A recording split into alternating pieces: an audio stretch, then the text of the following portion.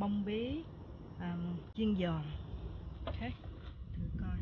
Nào chỉ có cái à, bông tươi như vậy nha các bạn. Mình mới hái lên tức thì đó. Thì mình mới làm được. Nó nhìn đẹp mà ngon thôi. Các bạn mà cái loại bông bí mà các bạn thấy cái cây mà nó dài như vậy nè là cây được là cái hoa được. Còn cái uh, loại mà cái uh, chỗ này nó bầu ra nó là hoa cái thì mình không có dùng cái này. Chuyên hái cái loại mà nó nó dài như vậy thôi. Tại vì nó sẽ không có ra cái trái. Nó chỉ là cái bông thôi. Bây giờ mình sẽ cắt cho nó đều. Cái này ăn giòn nó cũng vừa mát, lạ miệng nha các bạn. Cắt cho nó đều đi.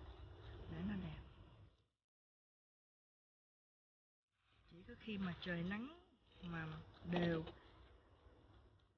mấy tuần liền á cỡ trên 80 độ á, thì bắt đầu cái bông này của mình nó mới nhiều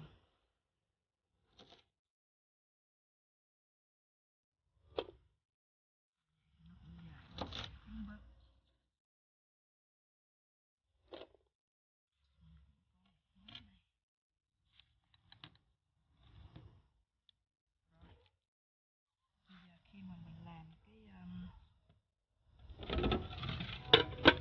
bột á các bạn chỉ là bột gạo thôi.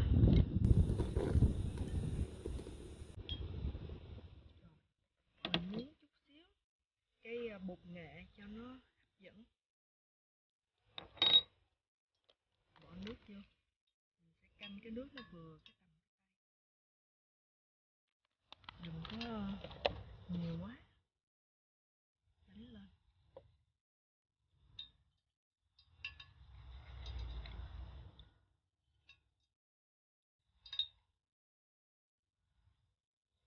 cái bột gạo mà cái bột các bạn làm bánh xèo cũng được. Tại vì trong đó là nó có bỏ um, mấy giống như là baking soda hay baking powder gì đó để mà cho nó giòn cái bánh đó, các bạn lấy cái đó. Các bạn trộn với lại cái gói mình thấy cái gói bột nghệ ở trong cái um, bột bánh xèo đó là nó cũng sệt sệt như vậy thôi có lỏng quá, mà cũng đừng có đặc quá. Còn không nữa thì mình mua cái bột chiên giòn của Nhật trong cái tiệm chợ Việt hay đâu cũng có hết, nhưng mà điều đặc biệt là đừng bao giờ bỏ muối vô. Muối nó sẽ làm mềm cái bột của mình thấy vậy là được rồi thử nha các bạn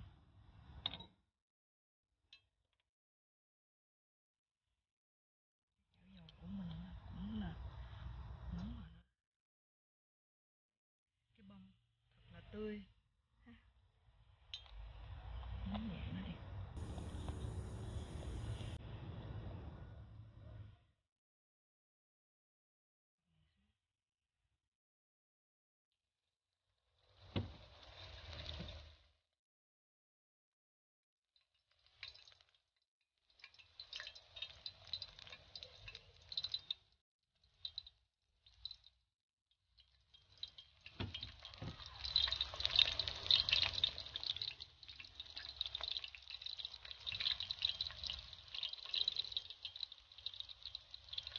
một mà mùa mà mình trồng á, mình ăn cái này được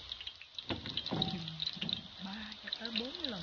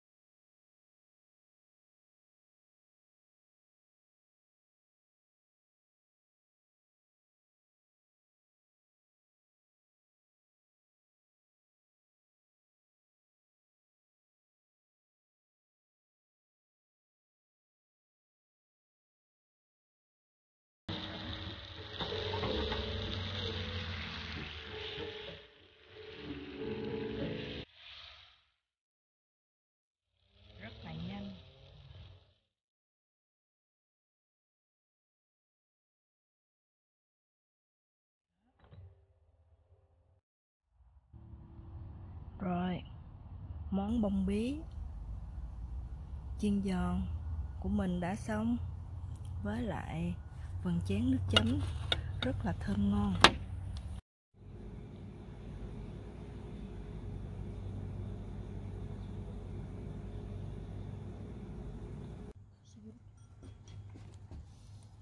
How is that boy?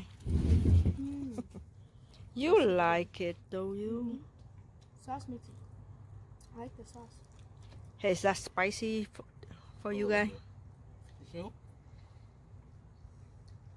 Don't eat the green part. Nó That is tempura. bỏ cái này lên Uh huh. That's all for you guys. Spicy, I like the spiciness.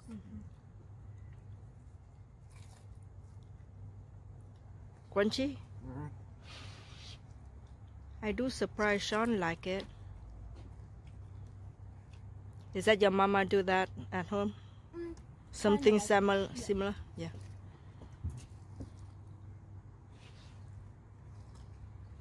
So what do you tell?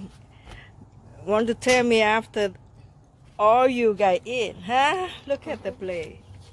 How is that? It was good. Okay, that's it.